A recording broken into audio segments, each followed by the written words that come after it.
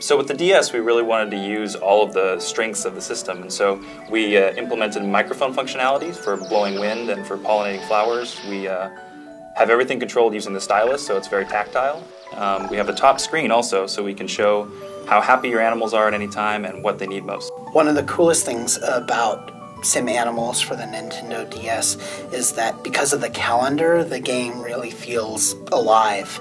You get watermelons in the summer and pumpkins in the fall, and on real full moon nights, the wolves in the game will howl at the moon. What other games do that?